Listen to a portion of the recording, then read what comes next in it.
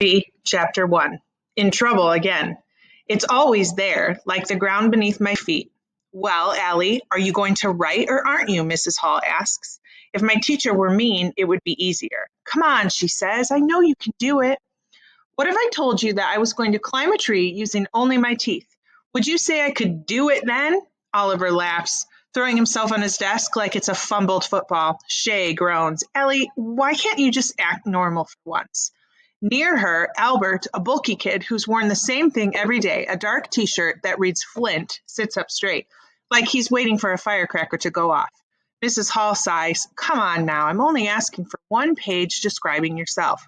I can't think of anything worse than having to describe myself. I'd rather write about something more positive, like throwing up at your own birthday party. It's important, she says. It's so your new teacher can get to know you. I know that, and it's exactly why I don't want to do it. Teachers are like are like the machines that takes quarters for bouncy balls. You know you know what you're going to get, yet you don't know, too.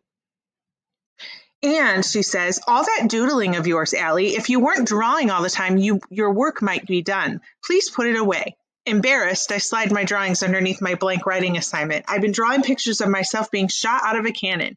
It would be easier than school, less painful. Come on, she says, moving my lined paper toward me. Just do your best. Seven schools in seven years, and they're all the same. Whenever I do my best, they tell me I don't try hard enough.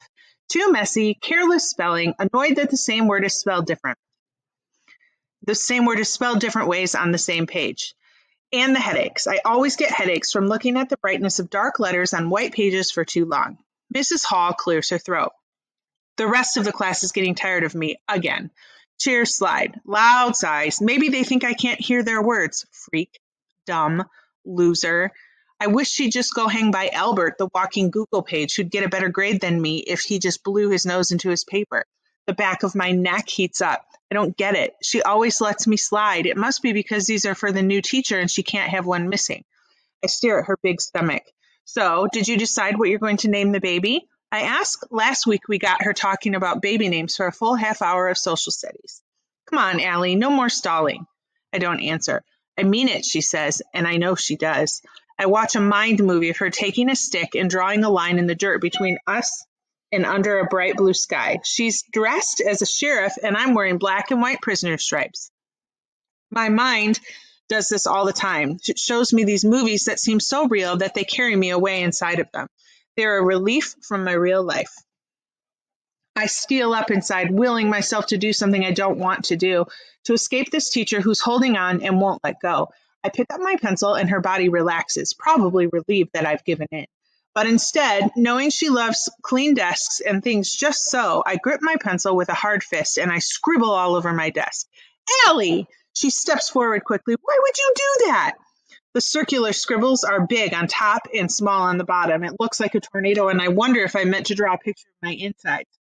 I look back up at her. It was there when I sat down. The laughter starts, but they're not laughing because they think I'm funny. I can tell that you're upset, Ally, Mrs. Hall says.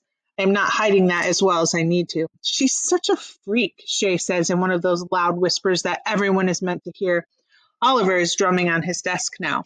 I fold my arms and stare up at her. That's it, Mrs. Hall finally says. To the office now.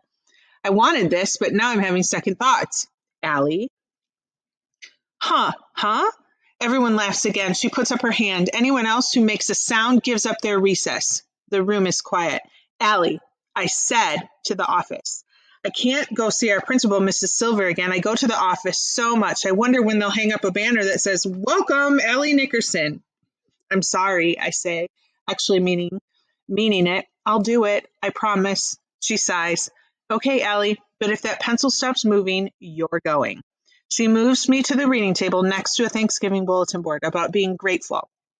Meanwhile, she sprays my desk with cleaner, glancing at me like she'd like to spray me with cleaner to scrub off the dumb.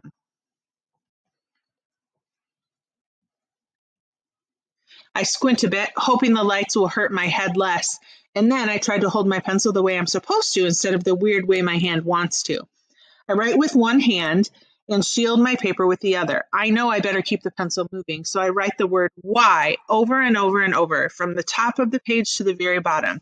One, because I know how to spell it right, and two, because I'm hoping someone will finally give me an answer.